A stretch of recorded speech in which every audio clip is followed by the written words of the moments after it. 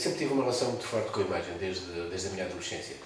Eh, comecei pela banda desenhada, depois uh, entusiasmei-me muito com o cinema, do, da perspectiva lá, do, do, do, consumidor de cinema, mas a partir de uma certa altura foi possível ter contacto com o vídeo ainda na década de 70. Tive uma, uma experiência muito forte em termos de recolha de cultura popular com o Michel Giacometti, que era o grande nome nessa época. Uh, depois tive o Centro de Estudos Cinematográficos, onde aprendi muitas coisas de cinema, dei cursos de cinema, desenvolvi muita coisa por aí e filmava sobretudo em Super 8 em coisas que eu sabia que, eram, que iam desaparecer, portanto tinha mesmo um arquivo grande nessa área.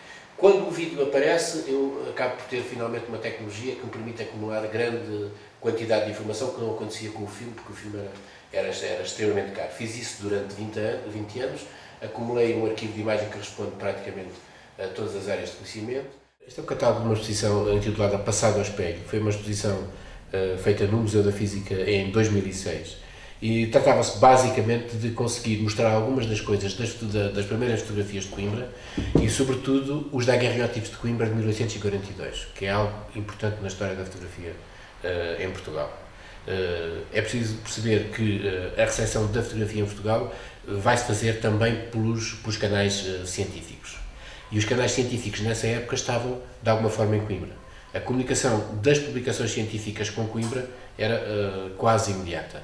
Uh, digamos que era apenas o, o, tempo do barco para chegar de, da França até Lisboa, de Lisboa até ao Rio Mondego e subir o Rio Mondego e, e, e, subir a colina da Universidade. O que quer dizer que, naturalmente, estas pessoas tinham os conhecimentos da Química e da Física, uh, tinham logo a apetência de tentar aplicar na prática aquelas descobertas. Isso traduziu-se pela aquisição de uma máquina, que eu mostro, mostrei, mostrei neste, que foi, foi, apareceu nesta exposição, pelas câmaras de mercúrio, eh, que era necessário para, para, para a revelação, e os daguerreótipos originais, que foi possível mostrar.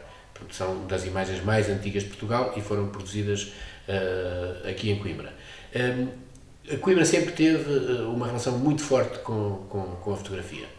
Mesmo alguns dos fotógrafos que instalaram em Coimbra um, vieram de círculos como o Círculo de Vitor Hugo, por exemplo há um fotógrafo francês que se instala em Coimbra, que é o Arsenet, eh, que fez parte, foi o oitavo subscritor do Manifesto de Jersey de, de Vitor Hugo. Portanto, o Vitor Hugo há um período que é expulso da ilha de Jersey, porque, devido àquelas oposições uh, que ele tinha com ele e os, e os republicanos franceses tinham com, com o Napoleão III, e na altura, eh, quando as relações diplomáticas entre a França e a Inglaterra se começavam de alguma forma a, restabelecer, isto dá uh, pressões para que houvesse problemas uh, relativamente aos exilados em, em Inglaterra, neste caso na, nas ilhas, na, ilha do Canal, da, na ilha de Jersey. Uh, este Arsené acaba por vir instalar-se em Coimbra, instala-se em Coimbra a partir de 1863, 64, vai viver aqui os últimos 10 anos da vida dele, ele morre em, 1900, em 1874 e vai ser um caso muito importante até, até na história eh, uma certa história legal de, Portugal. Porquê? Porque ele sempre se assumiu como republicano, morre, morre como republicano, socialista e, e por aí, e em Coimbra, quando ele morre, as, as, autoridades eclesiásticas não o deixam entrar no cemitério. O que quer dizer que ele teve que ser enterrado fora do cemitério. Isto dá uma reação de muitos setores, os setores mais liberais uh, da sociedade portuguesa, e isto vai implicar um, a alteração da lei dos cemitérios. O que quer dizer que este nosso amigo, o Arsené, acaba por ser o primeiro caso de enterro civil em Portugal. Uh, depois há outros nomes muito importantes na história da imagem que de alguma forma fazem reportagens em Coimbra. Sei lá, por exemplo, o fundador uh, do cinema, o primeiro realizador de cinema em Portugal, o Arão da Paz Reis. Ele faz três, três reportagens de Coimbra, pelo menos. Faz uma Rainha Santa, faz uh, Uh, o centenário da Sebeta foi uma festa de estudantes em 1899, portanto faz uma série de fotografias uh, absolutamente espantosas e faz também uma outra grande festa de estudantes também muito importante à época, uh, quando acabou o grau de bacharel, que era o chamado enterro do grau. Portanto, isto são imagens, estamos a falar imagens da, da, das primeiras, da, do, mesmo do começo do século XX, da transição do século XIX para o século XX. Há outros, outras histórias também muito interessantes, sei lá, a história, por exemplo, do José Sartorius, que era um italiano, se instalou aqui como fotógrafo em, em 1800, a partir de 1874 e vai ser o homem que vai fotografar o António José de Almeida, que foi depois Presidente da República, à cadeia quando ele esteve preso na cadeia de Santa Cruz. Uh, e vai fotografar muitos republicanos, vai, vai desenvolver um projeto muito interessante com um outro republicano também muito ativo aqui em Coimbra, que foi o António Augusto Gonçalves, foi vereador republicano ainda no tempo da monarquia, e vai ser, vai ser muito importante na história da arte, nos restauros de, de, de, Santa Cruz e, e da Sé Velha, e vai fazer com ele uma, uma obra que se chama Património Artístico e, e, e Monumental, que tratava basicamente do seguinte, as grandes obras da arquitetura portuguesa, com alguma dimensão histórica, vão ser fotografadas uh, pelos José Sartórios com a orientação do António Augusto Gonçalves uh, e vão sair tipo fascículos. De 15 a 15 dias seriam duas provas originais com dois monumentos portugueses. Uh, isto acabou por durar dois, três anos. Este fotógrafo também, particularmente, aconteceram-lhe várias coisas. ele tinha a casa fotográfica dele na, na Rua Corpo de Deus, e como os químicos, trabalhar com os químicos nessa época era complicado, ele, chegou, ele teve três incêndios nas casas fotográficas dele. Uh, muita coisa ficou destruída, uh, teve um em 1886, depois teve outro em 1889 e depois ainda teve um, uh, já quando ele, ele mudou-se, no final da vida mudou-se para a Alta de Coimbra e acabou por ter ainda mais um incêndio aí. Uh, pronto, há aqui há uma série de gente aqui com, com biografias muito interessantes, para além de terem feito outra coisa muito importante, que é fotografavam os estudantes, os cursos inteiros. Uh, isto dava origem a orlas. O que é que são orlas? São, imaginemos, um póster grande, feito em litografia, e onde as fotografias eram, eram lá com o nome dos, dos, um, dos, dos estudantes e a terra de onde eram originários.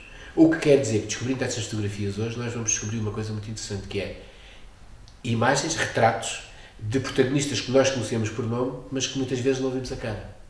Isso tornou possível que, na exposição do Centenário da República da Universidade, que foi o Ver a República, tornou possível fazer aparecer retratos de personagens que toda a gente fala, mas que a imagem fotográfica era absolutamente desconhecida. Estou a falar de um exemplo concreto, entre muitos outros, o exemplo do José Falcão. O José Falcão, em Coimbra existe um liceu com o nome José Falcão, ele foi lento de astronomia, morreu em 1893 e as celebrações republicanas eram sempre romagens ao túmulo do José Falcão. Uh, só que se julgava que uh, a única imagem dele era uma gravura que foi publicada numa revista de gravura, que usava a fotografia para a gravura, que era o acidente, mas fotografia, uma coisa de, nos anos 80, do, do século XIX, uh, mas fotografias mais antigas do José Falcão como estudante, isso não, julgava-se que não existia. Aliás, houve alguém que tentou fazer uma história de Portugal no começo do século XX e andou à procura de ver se conseguia apanhar alguma imagem de Zé Falcão, até contou a história de, que resulta de uma não descoberta, portanto ele não conseguiu encontrar nenhum, e o que é impressionante é que eh, a esta distância eh, de 150 anos foi possível encontrar um original fotográfico com, com o José Falcão.